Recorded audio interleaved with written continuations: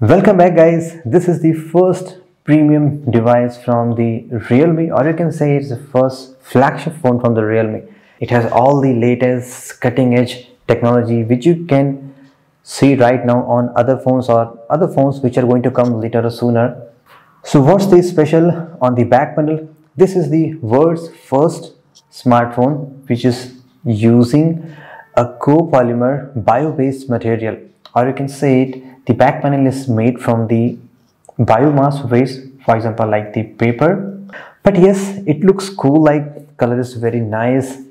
It feels like paper but actually uh, if you have a phone which has a vegan leather this phone will give you a feeling of that like it is a nice one. It, the phone is not very heavy it is around 190 gram. It feels good like on this one backside it has a curved edges on the front it has a flat display. So it gives you a nice comfortable feeling let's get inside and see how about the display. According to the company this is the world's first smartphone that has a LTPO 2.0 technology with quad HD resolution. That means this phone can select the refresh rate from starting from the 1 hertz up to 120 hertz. Again there's no cost compromise.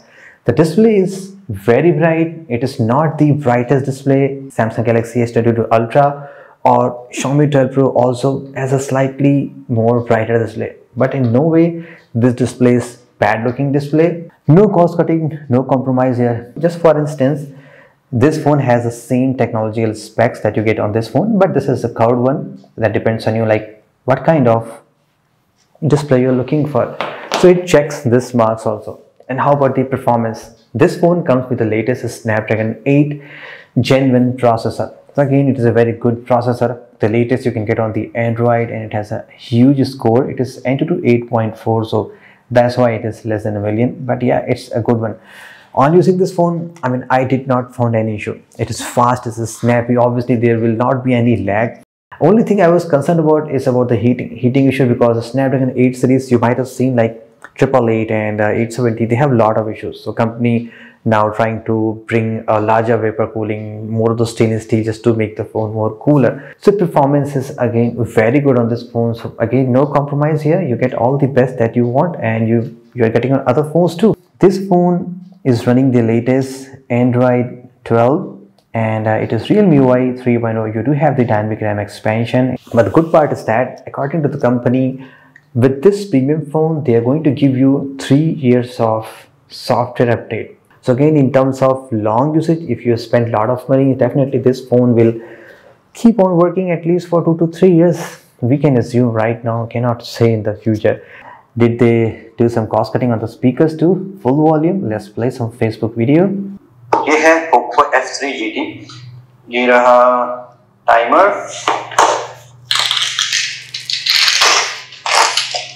Let's start और ये गया F3 GT. You get a dual speaker here, one on the earpiece and one on the bottom. Speakers are loud, sound is good. There is a Dolby Atmos support, so again you get the dual speaker. And but yeah, there is no headphone jack. I think most of the premium phones they are not giving giving you headphone jack. Yeah, I think Xiaomi 12 Pro they did.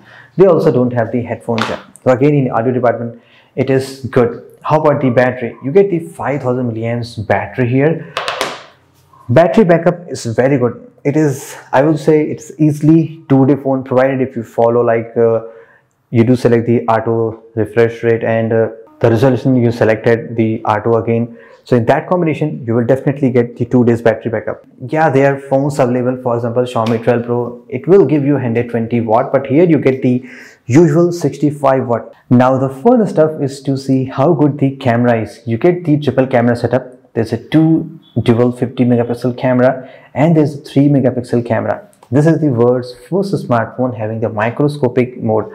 How about the photographs? So sony imx766 is a very good sensor.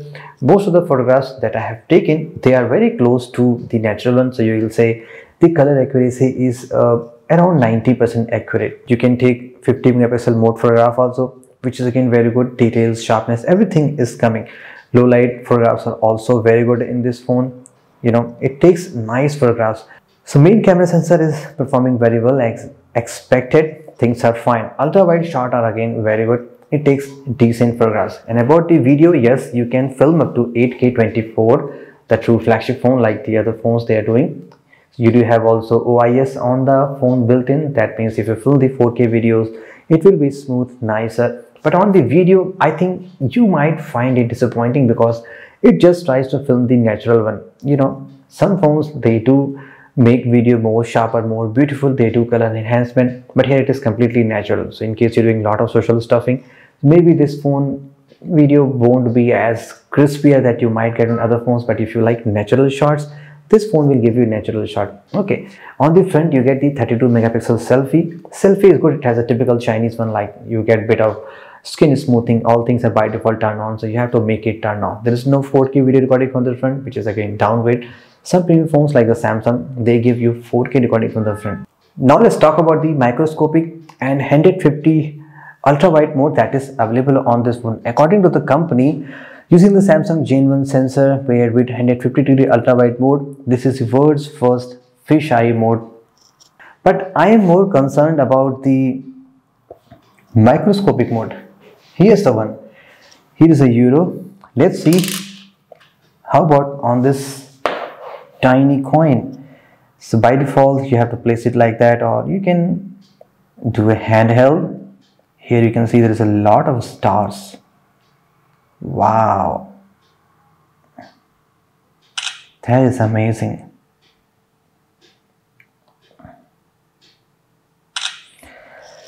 I don't think so any phone in the world right now can take better closer shot than this phone. This is so clear microscopic photograph. The real time, you know, or you can say real world usage is very limited. There is no IP rating here. So clearly it is not a true flagship that you get from the Samsung, Apple and old LG phones.